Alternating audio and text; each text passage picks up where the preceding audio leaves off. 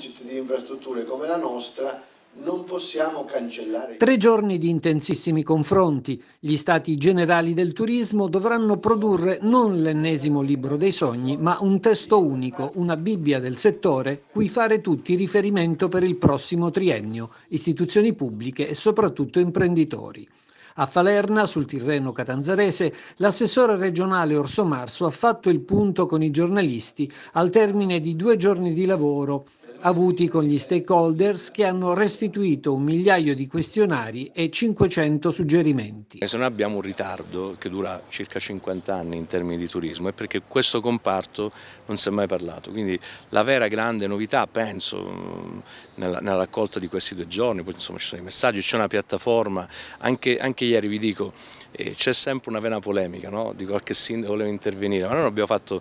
un dibattito, cioè non è un convegno, era far condividere un metodo, perché se c'è la Regione che programma delle cose, noi siamo alla vigilia di programmare il nuovo piano triennale 2023-2025 e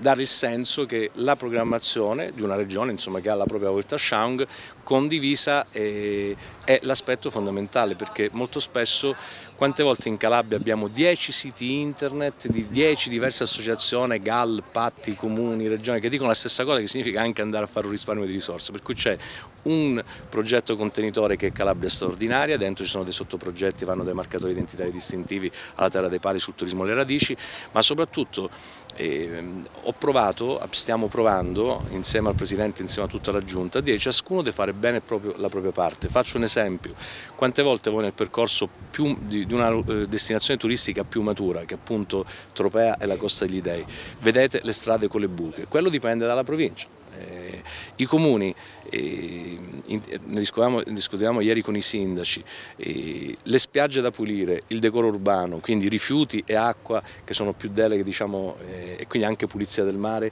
attinenti al Presidente, ne parla anche oggi. Ecco, se noi eh, crediamo, e questi sono i numeri del PIL, nel 2019 su 33 miliardi il turismo vale il 12%, quindi 3 miliardi e 6, che possiamo arrivare a fare il 20-25% se ciascuno di noi fa bene la propria parte, per quanto riguarda poi gli operatori significa noi siamo alcune volte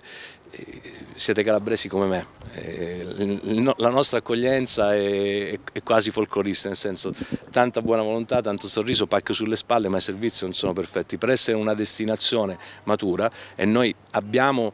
un nostro ospite per, eh, nel momento in cui viene in Calabria per vedere tutto ciò che abbiamo in Calabria, lo, lo ripeto diciamo, fino a noi, dovrebbe visitare almeno due continenti e cinque nazioni. Quindi organizzare al meglio queste destinazioni, essere al passo diciamo, con i tempi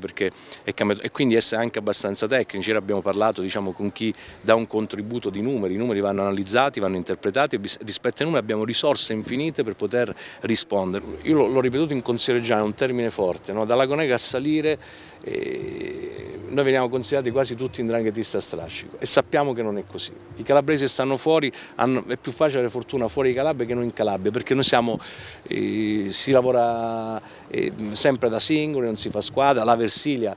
eh, piuttosto diciamo che Rimini eh, è, è un'organizzazione complessiva di operatori, di comuni. Eh. Stiamo per scrivere la programmazione del piano eh, turistico sostenibile 2023-2025, che non è un libro dei sogni,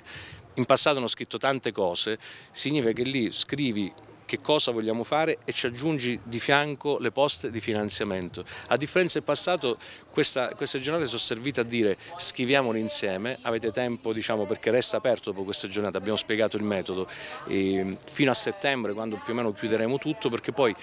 quest, questo libro, che non deve essere un libro dei sogni, diventa la Bibbia dei prossimi tre anni, che tutti dobbiamo conoscere, perché, per cui se le province con le risorse che hanno la loro parte, faccio un esempio, devono intervenire sulle strade,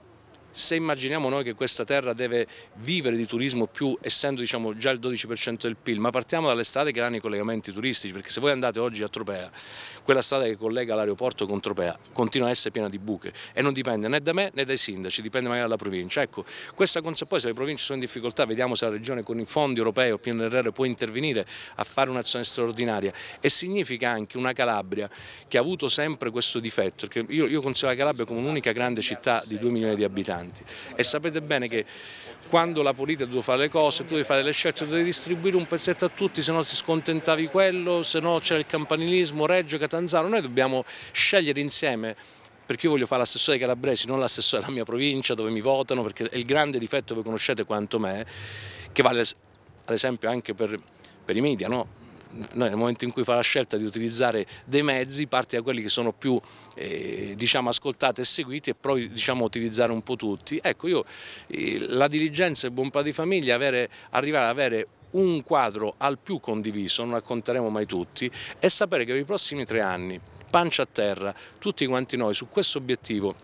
dobbiamo spingere fino in fondo perché abbiamo le risorse. Molto bene che siano stati coinvolti gli operatori, complimenti all'assessore Orso Marso che ha avuto l'intelligenza e la capacità di coinvolgerli. Lo sviluppo turistico devono farlo soprattutto loro. Alla Regione tocca invece per esempio mantenere pulito il mare, stiamo facendo un piano straordinario per lo smaltimento dei fanghi nei nostri depuratori che non smaltivano sufficientemente i fanghi eh, alla Regione tocca il compito di permettere ai turisti di arrivare in Calabria e quindi abbiamo raccolto una eh, società di gestione degli aeroporti che rischiava di avere revocata la, la concessione, l'abbiamo rimessa in bonus, ora svilupperemo eh, i tre scali aeroportuali. Alla Regione tocca il compito di investire sulle infrastrutture di collegamento e stiamo facendo anche quello. E tutto il resto però devono farlo gli operatori, si deve qualificare l'offerta turistica nella nostra regione ed è giusto allora che ci sia un'assunzione collettiva di responsabilità. Eh, non si vende un solo albergo, non si vende un solo posto, si vendono pacchetti turistici che sono generati anche attraverso una integrazione dell'offerta e quindi un contributo attivo da parte degli operatori. Ecco, eh, sono felice che ci, sia, eh, ci siano tanti operatori e che questa tre giorni sia riuscita così bene.